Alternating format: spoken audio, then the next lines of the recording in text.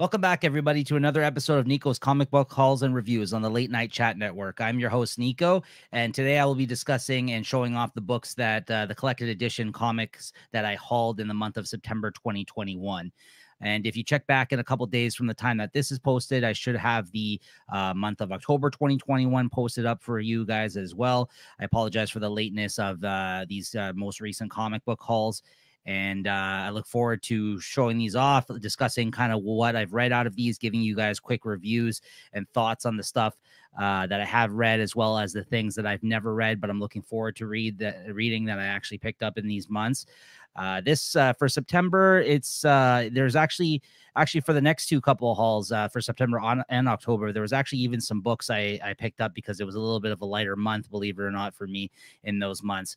Uh, due to I guess maybe because the fact that some of the distributors are changing with uh, Marvel and uh, as well as uh, you know just because I know there's just regular de- delays here now I, with a lot of these things. A lot of their collected editions have been getting pushed back a little bit. It seems like whether it's like distribution issues or um, issues. You know, I know that people are talking about now with the supply chain stuff happening that there's delays and things being sent out around the world as well as like paper shortages. You're hearing all kinds of things now these days. Uh, the fact of the matter is, these collected editions will still come uh, all, all come out at some point, and it's not like we don't have enough to read, anyways. As collectors, a lot of us that are in the uh, you know that collect a lot of these collected editions. So I'm not really concerned. I'm not really worried. It kind of gives you a chance to maybe pick up some things that you hadn't picked up previously, like I did in this month and uh, October's haul uh, as you will see, and then I will be discussing with you guys here. And uh, you know, and if not, maybe save some money because like there's going to be like a whole lot of stuff that's going to come out around the same time with all these delays and pushbacks, right? So uh the going into the new year there's going to be a, probably a lot of very expensive months coming of collected editions for the omnibuses and things that we've been uh pre-ordering out here guys so yeah i know there's been some concerns in the collected edition community um so i briefly kind of wanted to bring that up here at the top of the video but uh but yeah you know uh once again if you like these videos and you want to see more of them you know let me know what you thought of them in the comments section. Uh, make sure to hit that like button. Make sure you're subscribed to the channel the late night chat network youtube channel where i've been up re-uploading a lot of my old uh, comic podcasts that i do uh, for the late night chat network. Uh, like i did trade talk episodes which where i discuss like more of like um, longer form reviews of like what i do here where i show off the hauls like it, trade talks were like the collected editions that I read every single week, I would get on there and, and speak about and actually review them and give you my thoughts on all those books. So if you ever wanted to, you know, all the show notes are up for those episodes. If you wanted ever wanted to know my reviews on a bunch of other collected editions, if you look, at, we have a playlist up for that. That's Trade Talk. It's audio only. Uh, I've been re-uploading them to YouTube. Used to be a podcast. Uh, so there's no video on those ones, audio only, but it's my thoughts and reviews on a lot of uh, a lot of collected edition uh, comics that I was picking up the last couple years previous to doing these videos. And uh, then we also have weekly wine comic time. That was uh, me and my girlfriend Christine's uh, weekly reviews that we were giving on uh, single issue comics that we are collecting. Uh, again, we haven't really done that for about a year now, I would say. Uh, so they're older episodes, but if you ever wanted to hear any of our thoughts, again, that's all documented with the show notes there. And we have a playlist up here on the Late Night Chat Network. There is some videos for that actually on the tail end of uh, doing that show, probably the last 10 episodes or so. Um, we actually started doing that on video as well. So those were a lot of fun. So yeah, if you're looking for more comic content, we got those up, and also all of my hauls that I've been doing uh, throughout the year of 2021 maybe my first one actually i think it was december 2020 so we're just rounding out to a year of these comic book hauls at this point uh, so stay tuned for more, hopefully, more comic content. I still do want to do a tour of this room of my collection. Uh, might have to break that up into segments depending, just because it might be a long video.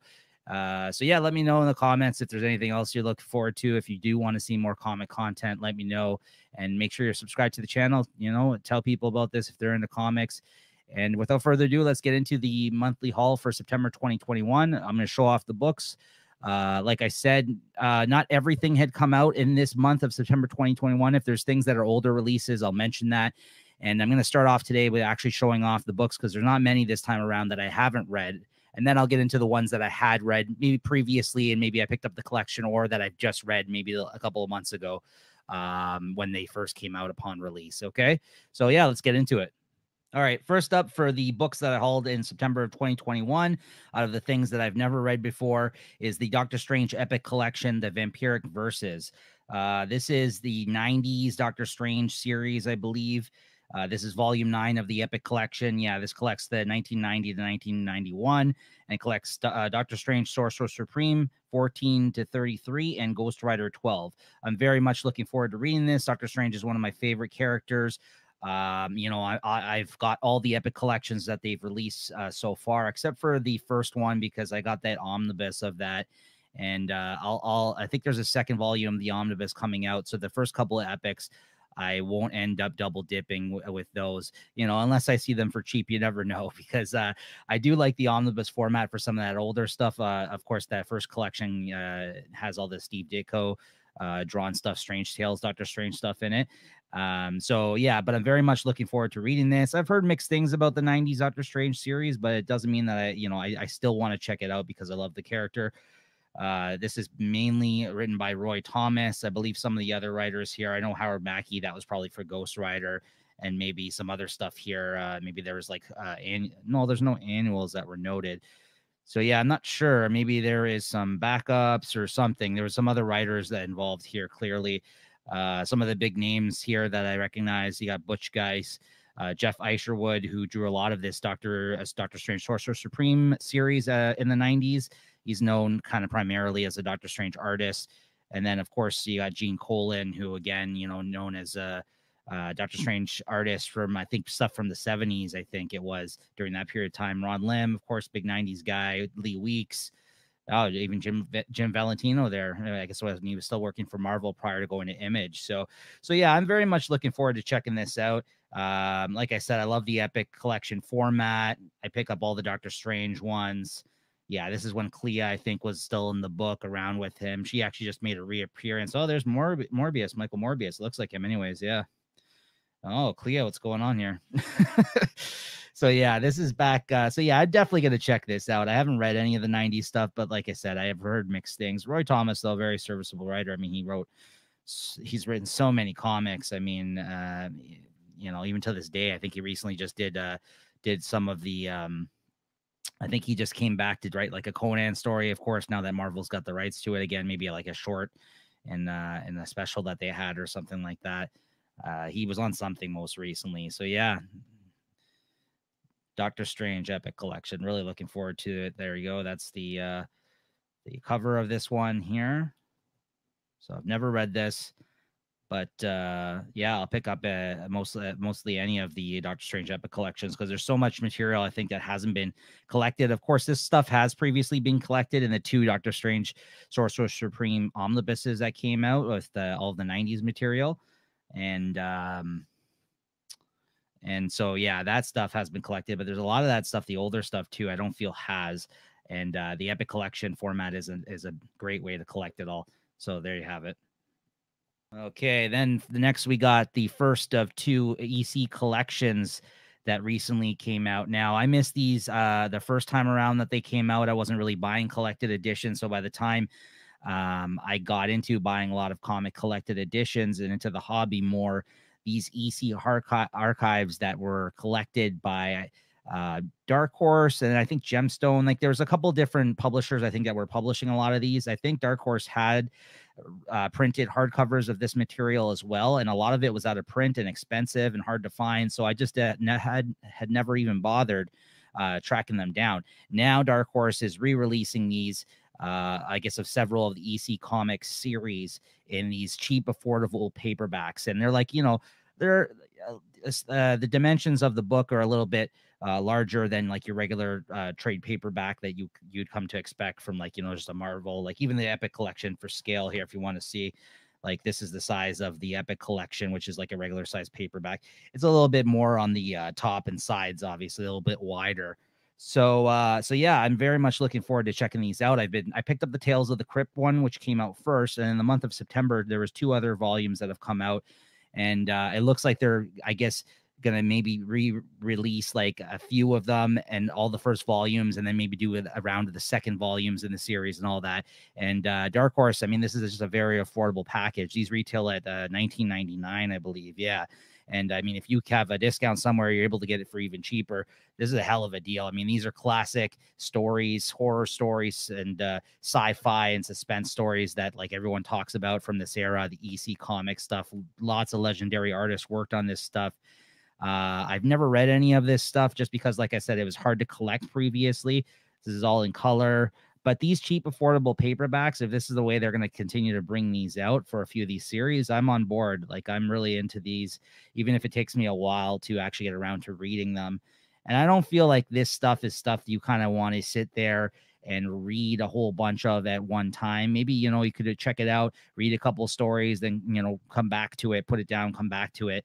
Uh, you know, I, I think if you read too much at once, it's just not as fun uh, personally. I don't think they were made to be read that way. I'm finding there's a lot of comics where there are shorter stories or comic strips or things like that, long running series like Usagi Yojimbo, things like that. I think they're better in small portions. Like, I don't think they were meant for you. They're not serialized like you know, like a Vertigo series where it's like a 60 issue story, like an older one.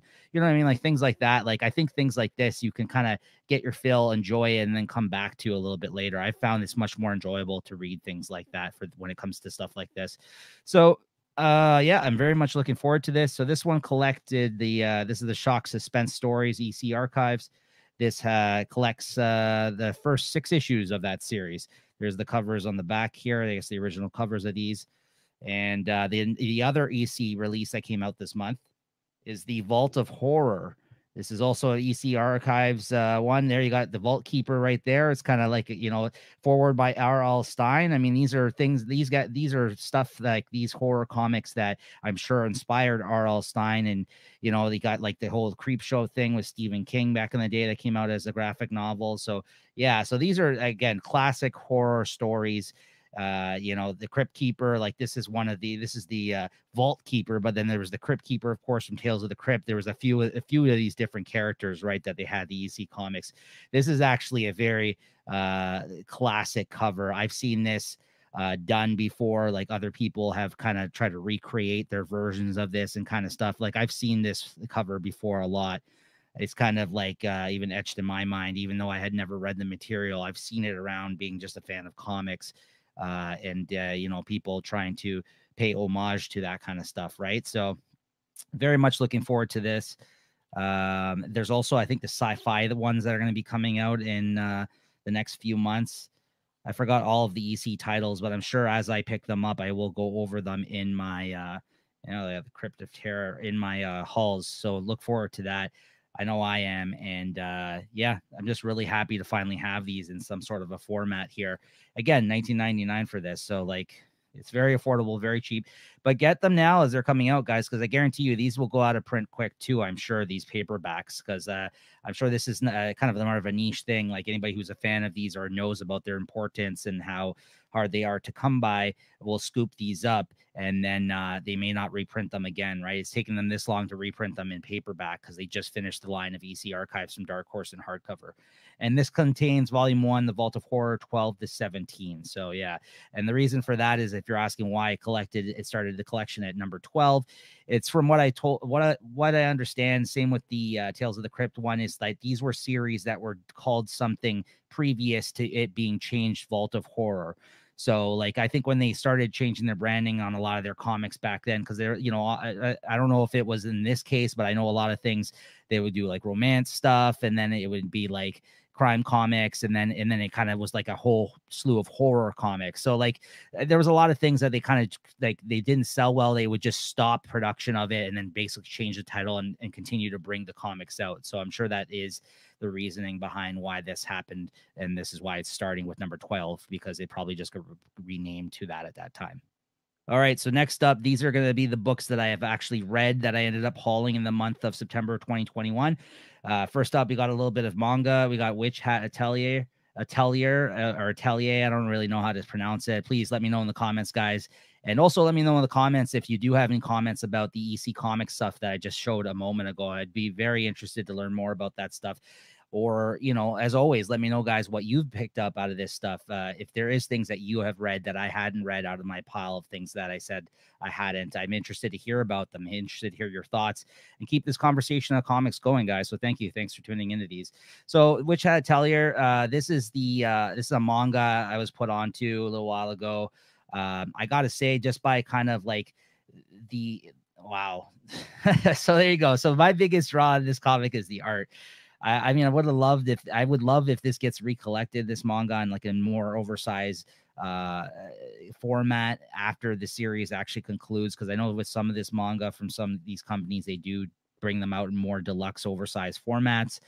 Uh, i wouldn't mind that at all. I think the art is beautiful in this. Uh, i should say the artist the uh and writer here is Kamome Shirahama and if i'm saying that wrong my apologies I guess they just won an Eisner for uh, it's an Eisner winner now. This comic book series, uh, this manga series, I should say, and it's uh, published by uh, Kodansha. So uh, I, yeah, I got put onto this series. I mean, it's kind of it's basically a series again about a bunch of young magicians. I know everyone likes to make the reference to like Harry Potter now these days because of that. Um, I mean, this is a bunch of magicians being taught in in a, in a school or under the tutelage of another uh, more advanced magician, let's say, in a world of of of humans that they also have to share with these people that uh, uh, these witches that basically know that magic. And but they all demonstrate magic by actually drawing pictures like illustrations. So they're all kind of they're they're able to draw emblems and and things that actually come to life off the page and then reflect uh ma- like actually uh, turn into magic or uh, or grant them uh, magical powers of some sort or actually will bring things to life and, and and and stuff like that. Like that's how they cast their spells essentially so yeah so it's very interesting it's you know a concept i don't think i've encountered before uh, on paper though that concept isn't necessarily something that i think that would intrigue me or, or send me running to check out this book but uh, I mean, the art is amazing. Uh, the story is, is, really fun, and uh, I like the characters. And yeah, it's just it's just a, a fun, delightful book. I I actually really quite enjoy it, and I'm glad I checked it out, and I'm glad I'm still reading it eight volumes in and keeping up with it. And this is nothing that I, this is not something I'll be dropping anytime soon. I, I don't know how long this book has been going on for. I think it's still running in Japan, but I might be wrong. I'm not positive on that. Um, but I, I am learning that more and more people are are checking this book out and becoming fast fans of it. So I'm I'm very happy to hear that. I think it's definitely worth your time. And if that kind of genre stuff, like the stuff that I mentioned, uh, that uh, you know, it does intrigue you. If you do like magic, you do like Harry Potter, if you do like stuff like that, like I just mentioned, then this is an easy sell. Honestly, I mean, look at this art. You, you definitely got to check this out if that's the case. So and uh, you know, it made it was something that I didn't know I was gonna like, but I ended up really enjoying. So there you go. All right, next up we got uh, Dead Dead Dead Demons DDDD Destruction Volume 10. yeah, it's one of the most complicated uh, titles out there currently. Dead Dead Demons DDDD Destruction Volume 10 by Inio Asano, very popular uh, mangaka, um, you know, the artist and writer essentially of this. And uh, yeah, this is this was a great volume. It's been a while since the last volume came out here, translated in English. I feel at least it's felt like a long time. This, of course, is printed by Viz Media here. Um, but yeah, we're we must be coming to the conclusion of this story at some point soon. I would think it really does feel like it. There is big things happening in the story right now without getting getting into it and spoiling it. But this what probably was my favorite volume in the last couple of volumes from what I can tell. So uh yeah, a lot of big things happen in this one, moving the story along. Uh, great character development, great art, of course, as always in in, in an Inio Asano book. I am a fan of his stuff. Not everything he's done. Uh, it, this is definitely, I think, got a unique tone compared to some of his other books, which can be, you know, a range from anywhere to quite depressing to, uh, you know, to scary in a way and like um, you know, even like kind of he does great slice of life stuff as well. I mean, and he's able to capture a lot of unfortunately the sadness and and uh and stuff uh and i guess horror and and, and a lot of like human type things in his stories as well right? So uh this is a story about aliens that kind of came down to earth that are there's a big ufo structure that's like hovering over the earth that the earth the people the humans have been living with for the last little while as you can see there. Uh and yeah and kind of like about the ongoing world around them um, how they, you know, their day to day how they interact with the aliens, stuff about government, politics is mixed in here, as well as relationships between these group of children that are in the book that also become friends with one of the aliens. This is kind of how they look like, and they, you know, uh, it's the art's wonderful. Um, a lot of crazy, you know, action actually went down in this in this volume, as you can tell here, without spoiling too much. You definitely got to check this out. Wow, look at that one of all the aliens. so yeah, this is uh I I again I don't know. I'm sure this has concluded uh, in Japan and we're still getting volumes out here. I can't see it going on for too much longer. It does feel like there is a conclusion coming soon, but it, I do really really enjoy the series. And just when I thought the last couple of volumes may have been a little bit more duller than I, than what I had come to expect from this series, this volume was really really great. So yeah, all right, then we got Hell's Paradise, Jigokuraku by story and art by Yuji Kaku. This is, of course, by Viz Media as well. This is the signature line, as well as the last one I just talked about, Viz Signature. Yeah, this is kind of like, you know, the not shonen jump manga. It's more of like the mature manga line, I would say, for adults. Uh, if you had to make a comparison between the two, uh, I believe that's what the signature line is for. Uh, what the nice thing about these ones too is that actually the uh, compared to like a regular size manga, here I'll just show you with uh, like most of the other shonen manga size. Like I'm just gonna grab a volume of One Punch Man here. Uh, it's a little bit bigger in scale, as you can see there, just for comparison's sake. So yeah. Um, so yeah, this is this is coming to a conclusion. I think there's maybe only two or three more volumes of this. This has already concluded, from what I understand. I think it's going to be 12 or 13 volumes, all said and done.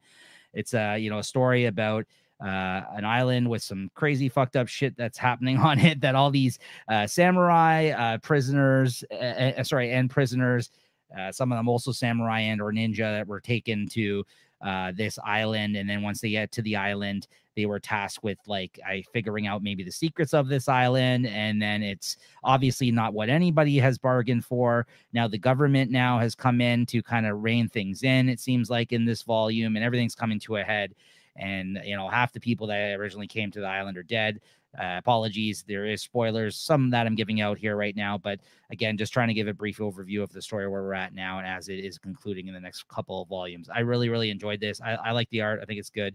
Uh, it's not, you know, not not something that's blown me away in the sense that it's not like a automatic classic or anything, but it has been very entertaining and as a short-lived series uh, for a manga, I definitely would suggest checking this out if any of that sounds uh, enjoyable to you. And the last manga out of this pile, anyways, for the month of September 2021, we got Fist of the North Star Volume 2 from Viz Media. Also, I believe out of their signature line, yes. And uh, this is a hardcover um, I really like the presentation on all these hardcovers. I mean, even with the the blood splatter of each one, different characters on the front of them so far that you're you're you know coming across in the story. Uh, I I gushed about the first volume when I hauled it here on the channel, how much I loved it, how much I had heard about it for so long, but it wasn't any of this. The translations were the earlier, I guess, paperback um, printings of these, which weren't many, and they may have even come out with issues, some of them in English. Anyways, I, I couldn't find any of them. They're hard to come by and whatever. And I don't think it's ever been fully collected in English. Uh, or if it has, it was a long time ago, early 90s, most likely. Uh, I really, really wanted to check this series out, and it delivered, man. It's just a great action packed, like Mad Max style kind kind of story with this guy. you know, this Fist of the North Star dude. That's just like oh man, he just he just whoops all kinds of ass in this. Like uh, the, the plot's very loose plot. He definitely comes across, like I said, it is a very Mad Max ish type of um, vibe and post-apocalyptic kind of like wasteland that this guy is kind of walking through and coming across people, you know, taking people hostage, hostage, fighting over supplies and he's just trying to make his way through this world, man. And he doesn't like a lot of these guys, so he he he ends up like whooping a, a serious amounts of ass. It's very violent, very bloody, all kinds of all kinds of action. I honestly love the book. It's a, just really well illustrated and uh and and a lot of fun and you know not huge plots or anything and uh yeah i just i just love it i love everything about it it's it's simple and to the point and fun and action packed and uh, and it's, it's you know great art and guys just whooping ass. What more can you ask for? I hope they continue bringing these out every two three months. Of course, this is a story by Buronson, art by Tetsuo Hara, And uh, I love these hardcovers that they've been coming out with. I think it's going to be 20 something volumes all said and done, from what I understand, from like the amount of that they're they're collecting in each one of these hardcovers. And uh, if they continue to bring these out every two, three months, I'm going to be a very ha- happy camper. So definitely check out Fist of the North Star. Great manga. All right. Then we got Swamp Thing. This is New Roots. This is written by uh, uh, Mark Russell, as well as stories by Phil Hester and uh, Andrew Constant, and uh, art by Marco Santucci, Tom Mandrake, John Kalisz, Hi-Fi and Colors, I believe and uh, oh yeah, John Kalisz on colors, and then Hi-Fi, I guess, on maybe the colors in the other story. So this consists of online uh, digital first comics, I believe. Um, the Swamp Thing Giant one to five, I guess, printed these, and additional stories published digitally as Swamp Thing New Roots seven and nine. So they came out with these Swamp Thing anthology style kind of issues that they brought out, as well as like the digital content. I believe the seven and nine New Roots stuff, some of that is the Phil Hester written stuff uh, drawn by Tom Mandrake. And then the other stuff here that was in the Giants, I believe, is the Mark Russell, uh, Mark Russell, uh, drawn by Marco Santucci stories. Uh, I'm sure they were in both. They probably just collected a lot of that stuff together and threw it in here uh, for a collection's sake. I'm glad they did. I I quite enjoyed this. Um, I think Phil Hester did a good job. And uh, Tom Mandrake, of course, you know, who drew the, the Spectre, Martian Manhunter, and all these books. Definitely is a good artist for like horror and stuff like that back in the 90s that I, I've enjoyed. He was good as well, although I don't I didn't say as good as he used to be, uh, you know, back in the day, but that's understandable. Uh, here's some of his stuff right here, I think, here in the back. Yeah, so that's yeah, it's Tom Mandrake. So that's the Phil Hester stuff. The Phil Hester stuff, although he has a good take, he's worked on the character, he's drawn the character, and I think that was for Mark Millar back in the day. He did some Swamp Thing. So yeah, he's got a good voice for the character. He gets the character. It was good, but the guy, the reason I picked this up is because Mark Russell had wrote, written some Swamp Thing. Of course, Mark Russell, who is kind of been uh, known now as a guy who uh, definitely talks about he has a lot of social commentary on stuff that's going on in the world. So his voice actually worked out quite well i think for this character because swamp thing uh you know uh, has a long history of dealing with a lot of environmental type issues and commenting on it and stuff with and his and his relationship with humanity. And there's a lot of that in this and i think Ed, he does a good job of doing it. Each kind of story in this is a quick one and done with the great marco santucci art um, I really enjoyed it. I mean, they kind of all had a through line of some sort, but most of the stories were one and done. Uh, stories about his run-ins with people, you know, disturbing him in the bayou here, wherever he is in the Everglades. I forgot where the hell he is at this point in time in the story. Uh, has been a little bit since I've read it now, but uh, but yeah, I really, I really, really enjoyed it. Um, I got to say, Mark Russell, I think, had a good voice for it. I like Swamp Thing a lot. So, I mean, if you're a Swamp Thing completionist or you just really love the character and you just want to pick up the good stuff, I think this won't, I don't think this trade will let you down. I, I was quite, I quite enjoyed it and uh, it was good. And uh, like I said, love Marco Santucci on art and Mark Russell. I like his voice for, I think it worked well for Swamp Thing.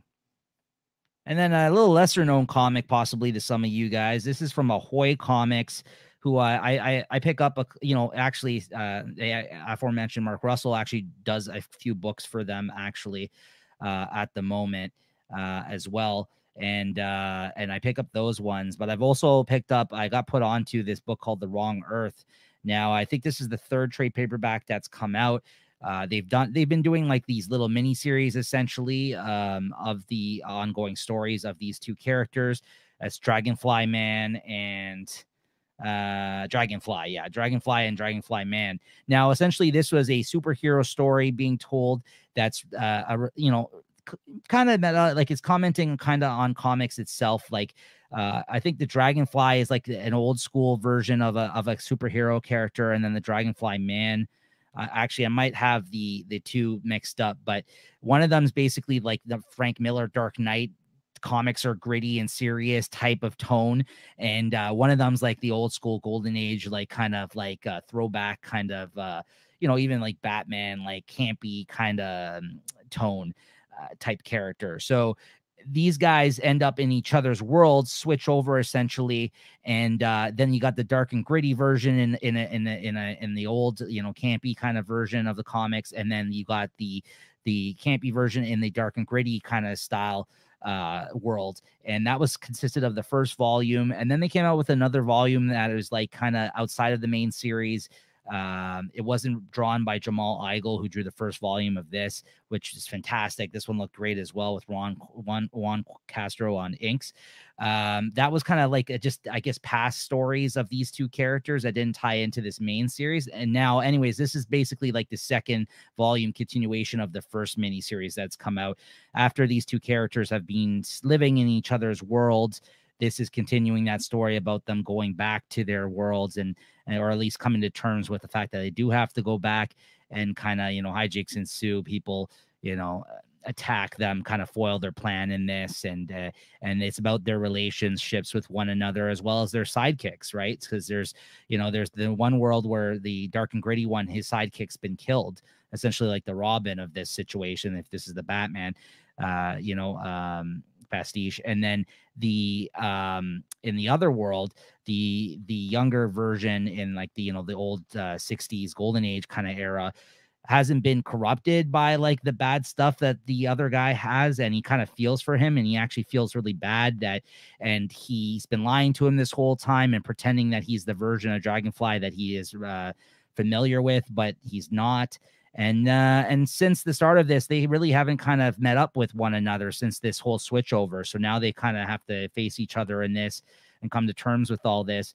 And they and the one guy doesn't want to leave his his new sidekick behind because the version of his sidekick in his world had died. So for him to go back to his time, he has to come to terms with the fact he's going to end up losing his sidekick once again. This uh, so so yeah, it's just it's really a lot of fun. I mean, it is a, definitely a simple setup in that sense. Like I'm sure this has been done in other things before, but it being outside of the big two main comics, I think they have a, they're able to have a lot of fun with this. And uh, and if you are a fan of superhero comics or a commentary on it and like the tropes that kind of are involved in it, I think that there's a it's a good team behind this. This is written by Tom Peyer uh, Jamal Igle, uh, on the art, which looks fantastic, and Juan, Juan Castro on the inks. This is the Wrong Earth Night and Day from Ahoy Comics. Definitely check this out. I think it collects the first the, the five issues, six sorry six issues I think of this mini series. All right, one of the most uh, unexpected, exciting things that I read out of this haul is uh, Marjorie Finnegan, Temporal Criminal. This uh, collects the first four issues of this uh, series that's come out from Upshot Comics.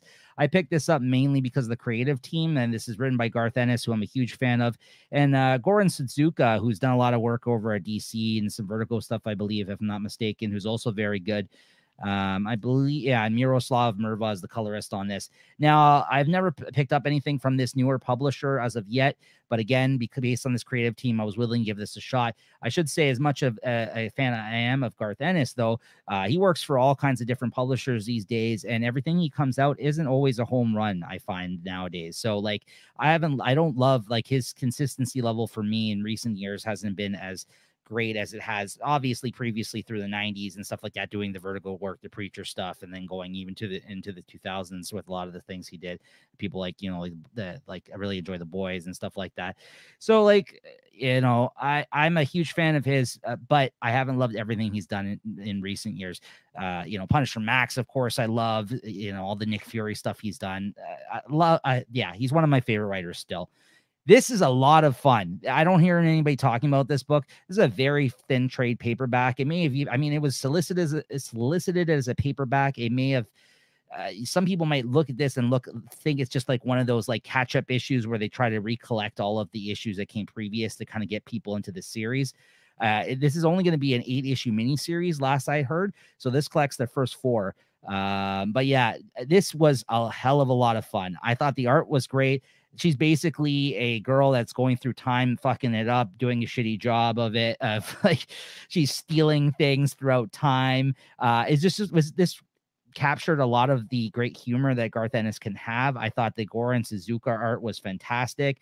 I thought the dialogue was great. I thought it was really a lot of fun. It reminds me, it's right up there with a lot of the funniest things I've read by Garth Ennis. If you do like his humor, um, it's just a hell of a lot of fun. It's time. It's a time travel story with a with a chick who's a thief and a badass, and she's got a twin sister who's actually part of like these like she is a responsible time person that uh um, goes through time and and like helps out like whatever like the time police are in this book essentially and her other twin sister uh, the one without the eye patch here that was seen previously is uh is a straight up criminal. Like she goes around and she she does all kinds of shit in different timelines. She fucks shit up. She steals things. She's irresponsible. Uh but she's out there having fun doing her thing. And this is basically her trying to track her twin sister down who's causing a lot of shit. And there's other people you know in in their midst trying to uh be involved with what's happening here too that are after them. And uh yeah it's it's it's a hell of a lot of fun. I'm trying to be vague that so as not to spoil everything here some reason there's a character that looks like the double here. I won't comment anymore on that but it's uh it's a hell of a lot of fun. Honestly this went places the art was great. It was funny and i love time travel stories. So i really really enjoy this and i'm, I'm sad to see that it's going to only be an eight issue miniseries but i cannot wait for the second volume of this to end out that series. All right, then we got Captain Marvel Strange Magic. This is the next volume in Kelly Thompson's run on Captain Marvel for Marvel Comics, of course. Uh, yeah, volume six, and this collects issues 27 to 30. Uh, you know, uh, written by Kelly Thompson with art by Jamie McKelvie in this one, David Lopez, Jacopo Camagni, Triona Farrell, and Espen Grundetjern. Some of those names I'm sure I butchered, so my apologies. Those are all on the art duties. Uh, of course, uh, some of them are the color artists here, and uh, David Lopez mostly on issue 27, and then Jacopo Camagni on 28 to 30. Jamie McKelvie also had like a small like backup story uh, at the end there that he wrote wrote and drew. Um, I love Jamie McKelvie's work, so that was cool to see him in this. Yeah, this is again like I've talked about this like in Hall's previous. Uh, I still really big fan of this series. I haven't read a lot of Captain Marvel. I mostly check this out for Kelly Thompson because I love her voice for her characters that she writes. She always got a really fun cast of characters in it. And uh, yeah, I mean, this has gone on quite a while. This run. I hope that they collect this in an omnibus format after after the series kind of concludes or Kelly Thompson ends her run at least. And uh, and yeah, I would definitely double dip and pick it up and get rid of the paperbacks. That's how much I really enjoyed this series. I think there's a variety of different good artists on it. Uh, it hasn't been consistent in that sense on the art teams, but I always feel that there's, you know, uh, serviceable artists and more than serviceable at times. Some really great artists that have worked on this book. Apparently, she hooked up with Doctor Strange in this. I ended up reading it, but again, it's been a while, since, uh, you know, since this video is late, so I don't remember everything that has happened. But I do know, oh yeah, there's a lot. Again, this is the outcome of a lot of the uh, time travel stuff with her. Um, yeah, that's right yeah, so I won't get into all of it. There's a lot of spoilers. There's a lot of stuff with the enchantress and her future son and everything. Uh, you know, she she's uh she's made some questionable decisions and uh and trusted uh herself to the enchantress in this one and you know shit just kind of goes sideways in this I, I, just really love the characters i love the cast and i love kelly thompson's voice and humor uh and yeah still enjoying captain marvel and I am also still enjoying Black Cat. This is Black Cat. I'll take Manhattan. This is volume five of the Black Cat series. Uh, this collects uh, issues five to seven and Black Cat Annual number one. If you're asking how can we only be uh, on uh, issues five to seven, uh, on volume five. It's because they've con- constantly started and restarted this series. It seems like it was always on the brink of cancellation because you know it is it is an ongoing Black Cat series, which is I guess very rare. But I think Jed MacKay has done a great job of kind of coming back with these different storylines that have been involved in uh, some of the events that have ha- gone on at Marvel. Uh, more recently, I think King in Black was the last one. Yeah, Queen in Black was the last volume and uh and yeah this has just been like a little fun series about her capers. Uh get jed mackay one of the newer uh comic writers that uh, i've really enjoyed a lot of his work and uh, michael dowling was the artist uh on these issues five to seven and then you got the annual which wasn't as good. I feel uh joey vazquez on art uh, but i still enjoyed it but i love the main series issues of this and uh, again, this is uh, you know just follows her and her capers and her cast of characters that you know that are with her in this book and uh, yeah, I have a lot of fun every time this comes out. And I think, uh, yeah, uh, likewise, if they come out with a bigger collection of this, I would probably end up picking it up. Yeah, I can't believe saying that about Black Cat series. I really am surprised about by this one, but Jed MacKay is doing good work. All right, now we're getting to some of the oversized hardcover slash omnis here at the end of the haul. This is Gideon Falls Deluxe Edition, Volume One, which collects the first half of the series from Image Comics written by Jeff Lemire, art by uh, Andrea Sorrentino, sorry, Andrea Sorrentino and uh, Dave Stewart on colors. And uh, I'm a huge fan of Lemire and Sorrentino. Uh, you know, ever since I know Sorrentino's work, I first seen with the New 52 uh, I Vampire book, and then Lemire shortly worked with him after that on the Green Arrow run of New uh, New 52. They've just announced, I think, a new horror book that's called Mythos that's going to come out from Image Comics, Gideon Falls. I've read it all in issues. So this is kind of a double dip for me because I wanted to get uh, re up and get the collected edition, deluxe edition when these were announced. And uh, this was great. This is great. Uh, it's hard to explain. It's a very trippy, surreal kind of book. But if you're a fan of these two on anything they've worked on previous to this, um, or if you're into horror or if you're into Jeff Lemire's writing, definitely check this out. Uh, I know on Andrea Sorrentino's work isn't for everyone. I've heard some people that don't like his stuff. I think it works really well for this series, though. Even if you aren't a fan of his, uh, again, some of the just like it's a very trippy, surreal type story being told in this Gideon Falls. So I, I really quite enjoyed it. I enjoyed it the whole way through in this oversized format, deluxe edition from Image Comics. It looks beautiful. It, it, it's a great presentation. Uh, so definitely check this out. Again, I don't want to spoil too much. It is hard to explain, anyways. I think the storyline and the places it goes. So I'll leave it at that. But I, I can't, you know, say enough good things about this. I really enjoyed it, and this collects the first 16 issues of the series. So the second hardcover will complete the series. Uh, I don't know if it has been announced yet, but I'm sure it'll be coming out soon. All right, so there you go, Gideon Falls, and I think it's got an option for a TV show or something, if I'm not mistaken. All right, next up we got the oversized hardcover of Marauders Volume One, one of the funner series I think that's spun out of the whole Jonathan Hickman, um, uh, you know, restructure of the X Men, essentially, uh, Reign of X era, Dawn of X, whatever you want to call it, because I know there's been different you know different different eras with the different spin-outs of different books uh spin-offs that have come out of the main series that uh, hickman started with house of x and powers of 10 and uh i've really liked uh, marauders. This is written by gerry duggan who's now writing the ongoing x-men series whose whose work i'm a uh, big fan of. I really like his stuff and art by matteo lolli for the most part i believe on these issues. But then, you know, you got some other people, Michele Bandini, Lucas Werneck, Mario Del Pennino, and Stefano Caselli. And uh, yeah, I really like this book. This is like this is the one where you know, uh, Kitty Pryde essentially becomes a pirate. Like uh, the Marauders are these people that you know uh, sail the seas and uh, deal with uh, you know uh, trades, basically uh, uh, doing uh, trades for the White Queen, Emma Frost, who's on the council and this new status quo of the X Men uh, as part of the Krakoa, and they deal with a lot of the the stuff that uh, trades and uh, barters and stuff like that, things that are hap- bartering on the sea, like that are happening throughout the book. They also end up saving mutants in their travels. And it's just a really fun book. Emma is in this quite a bit. I actually really, really like his voice for Emma, Gerry Duggan, and end of Kitty Pryde for that matter. She's kind of the captain of the crew and she reports to Emma. And they kind of work together for the most part, those two. And I believe they're both on the council at this point as well for their side, as well with uh, Sebastian Shaw. Uh, but yeah, there's been great artists I think that has worked on this uh, book. Uh, as I mentioned, I, I, like Gerry Duggan's writing, and this was just one of the more fun and funny titles that came out of that first wave of X Men books that I've stuck with. And uh, I ended up reading these in issues and hey, there's Batroc the Leaper, and uh, and yeah, I ended up now collecting this in the oversized hardcover that has come out. I believe one more volume because they just announced that I think with Marauders issue 27, it is going to wrap up the series, and uh, probably the second hardcover will collect the second half of this, and I'll definitely be picking that up as well because I really.